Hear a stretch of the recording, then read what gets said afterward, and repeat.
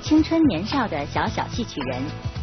台下他们顽皮可爱，不失孩童天性；台上他们却又沉稳大气，举手投足间戏韵十足。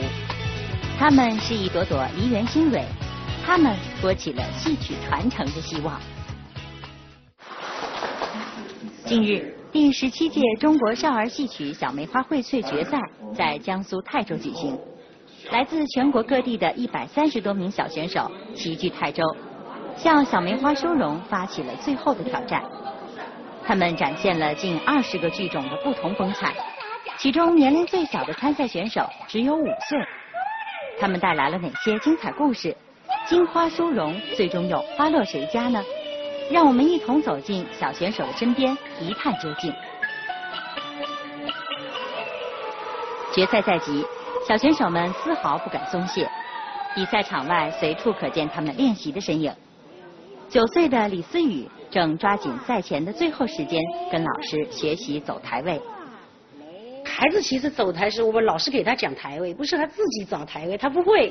然后我就找走了一下嘛，台位都不对。然后因为他换了一个台就不知道。我们从排出到现在只演只在台上演过两次，然后我就担心啊，我说我们抽这个空档，演出以前的空档早点到，然后我们先给他讲一个台位。他记性很好的，我一讲的话，他舞台感觉就有了。李思雨受家人的影响，开始学习越剧。仅仅一年半的学习时间，他就站在了戏曲小梅花荟萃的决赛现场，十分不易。然而李思雨最初却并不喜欢学越剧。刚刚时候，比如上课的时候，他上课就是我要睡了，我今天嗓子不好，然后我就发脾气了，我说你要学就学，不要学就走，不是我让你学，是你要我教，应该是这样的理解。然后孩子他很懂事，那天他就哭着。一直哭啊，哭着以后，杨老师我错了，下次我绝对不这样了。从此以后，他就每天很认真的学习。李思雨对越剧的喜爱之情逐渐深厚，为了学习越剧，李思雨还放弃了他的另一个爱好——拉丁舞。现在还跳拉丁舞吗？没空啊，所以不跳了。为什么你没空了呢？因为嗯，家里天天练越剧。那现在让你选择越剧和拉丁舞，你会更喜欢哪个？越剧。为什么呢？因为喜欢。小选手们对戏曲艺术的热爱简单而热烈，相信这是最难能可贵的。来自山东的华珍妮就是一个地道的柳腔戏迷。我妈妈平常里在家里唱柳腔，然后听着特别好听，然后里边其中那种即墨我们那边的韵味儿，然后爷爷奶奶也比较喜欢，成天在家唱听碟啦，然后我就从小受他们的影响。爱上了柳腔。已经读初中的华珍妮，平时课业较多，但她仍然坚持利用课余时间学习柳腔。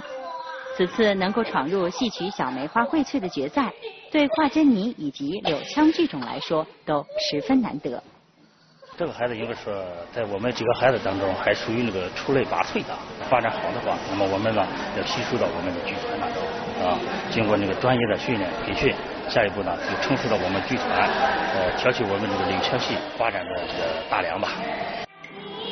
少年儿童是地方戏曲发展的新希望。同样来自山东的寇佳琪和张玉晨，也带来了别具特色的五音戏《逛济南》。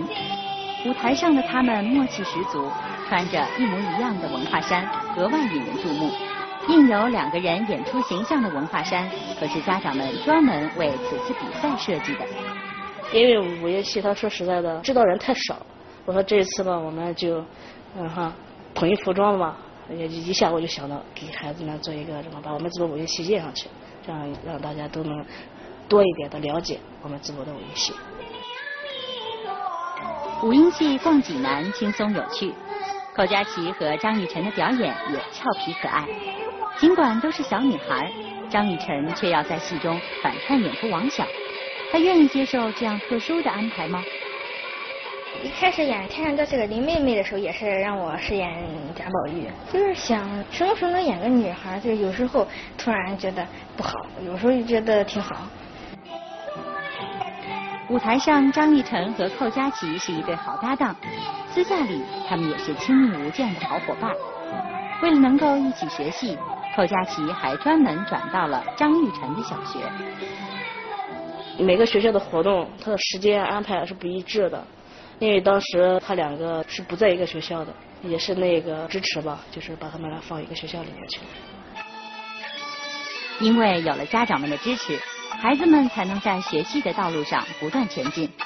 排练现场，我就见到了老旦演员李红的身影。他一直在陪着女儿赵佳一排练。受家庭影响，赵佳一学习京剧老旦行当的表演。我奶奶是第一代，我妈是第二代，我是第三代，所以都是唱老旦的，我就喜欢老旦。然而，赵佳一刚开始接触京剧时，却对花旦情有独钟。他就看电视里常秋月他们唱那个卖水啊、红娘啊，特别的喜欢，天天就围着那个电视转。清早起来，莲花镜子照，天天就这一段。赵佳一他必定是孩子，他就是喜欢那种小姑娘，像红娘啦，就这些个人物。可是呢，一个他嗓子条件特别适合老旦，再一个他嗯这个身身材比较适合老旦，所以呢还是朝这方面培养他。平日里，赵佳一跟随史玉洁老师一起学戏，这不禁令我们好奇：赵佳一为什么不像妈妈李红学唱京剧呢？俗话说嘛，自己家的人教不了自己家的人，因为嗯，首先呢，我在天津市艺术学校就是中专的时候嘛，也是跟史玉洁老师也开始学戏，嗯，然后呢，史老师呢就是教戏非常的认真，而且也有爱心。我觉得从这个启蒙上给孩子打的基础都是很好的，我就把孩子交给他呢，我非常的放心。然而，让年仅七岁的赵佳一学习与自己年龄相差悬殊的老旦行当，其中的难度可想而知。小孩的动作多多轻巧，多灵活呀！老旦呢就得稍微的脚步沧桑一点儿，就是苍老一点儿，然后呢就是再稳重一点儿，所以开始特别特别难，一步一步的稳稳当当的走，他站不稳，腰里没劲儿。但是呢，这孩子就是特别踏实，特别肯练，特别能静下来，完全跟着老师的那思路走。赵佳一的表现得到了老师的肯定，老师对赵佳一的教导也颇为用心。针对小女孩爱美的心理特点，老师为赵佳一选择了京剧《望儿楼》作为此次参赛的剧目。你看一般的老旦呢，那什么吊金龟呀、玉后龙袍啊，穿的都是老斗衣，呃，又看着就特别苦、特别穷。为什么给他选望儿楼呢？这个服装还比较呃艳丽一点，他穿着那个黄披，而且那个那个扮相是稍微的比那个都漂亮一点，也是为了让他开始就不能让他哟这么丑，我我不演了。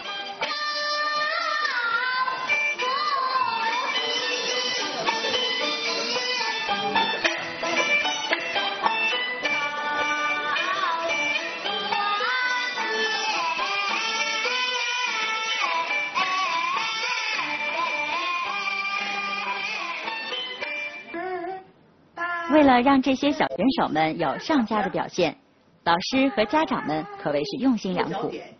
五岁的肖金航是此次比赛中年龄最小的选手。赛前，他的老师一直在鼓励他。抬眼睛，你今天要演好了，下来第一个老师就拥抱你，好吗？把你抱下来。演不好怎么办？你说？踢。踢下来呀？要演好了呢？抱。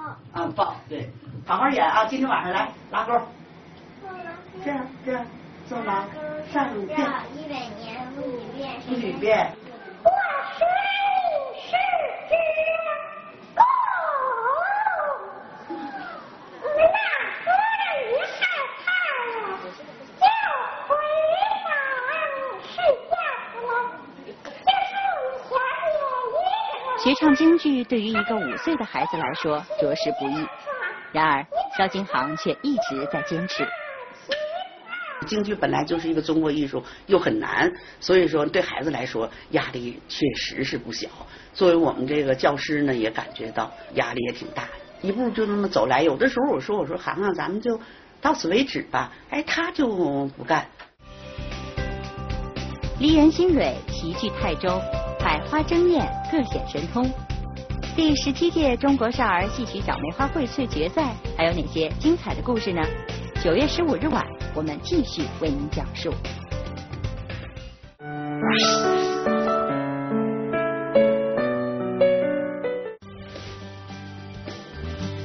为庆祝京剧张派名家薛亚萍舞台生活五十周年长安大剧院于二零一三年六月二十六日二十七日两天举办了秋韵平生庆新传薛亚萍舞台生活暨教学成果展演。CCTV 轰隆剧院为此次张派经典剧目《望江亭》进行了录制，并于九月十四日晚十九点二十分为您播出，欢迎您届时收看。出身书香门第的薛亚平是三代梨园世家，自幼随母习艺。一九六二年拜入张君秋大师门下，成为其入室弟子。《望江亭》一剧中，薛亚平得师真传，从人物出发，以委婉优美的唱腔，把谭继儿的复杂心情表达得惟妙惟肖、细微传神。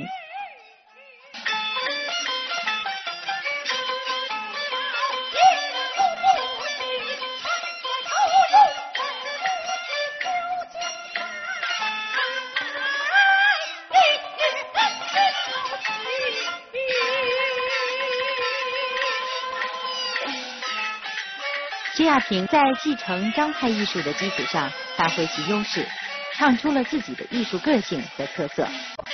其代表剧目有《秦香莲》《玉堂春》《望江亭》《状元美》等。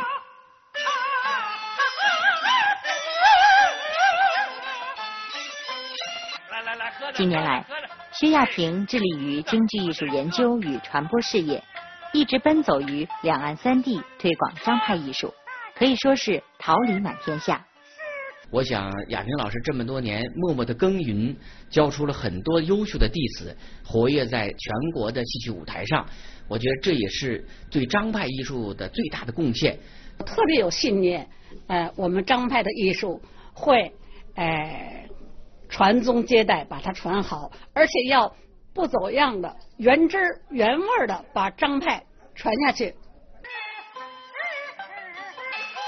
此次薛亚平教学成果展演，薛亚平与李宏图等联袂奉献张派经典剧目《望江亭》。时隔三十年，薛亚平饰演的谭继儿重现北京舞台。稍微有一点点紧张吧，可能荣誉也是压力，就觉得要必须要演好，不能演坏，所以是压力。但是要背戏呢，我事先还真没有去认真的背，因为我把张派。从小已经融化在血液里，融化在灵魂里了。它就跟现在大伙玩的软件一样，到时候啪一打开一点击，它词儿到处就出来了。所以说我我觉得我们学张派是这样的。作为我个人首次跟徐亚平老师合作这个《望江亭》，呃，感慨颇多。尤其他在排练当中，他的对每一个唱腔的要求，包括每个戏的这个我们之间的这种。呃，默契和这个如何出戏，他有都他都有很多新的理念。特别在在他在这个张派唱腔这种这种理解这个尺寸劲头上，呃，给我们所有的演职人员很多的启发啊，所以也很高兴这次能够跟亚平老师有这样的学习和合作这样机会。九月十四日晚十九点二十分，CCTV 空中剧院将为您播出由薛亚萍、李宏图主演的京剧《望江亭》，敬请收看。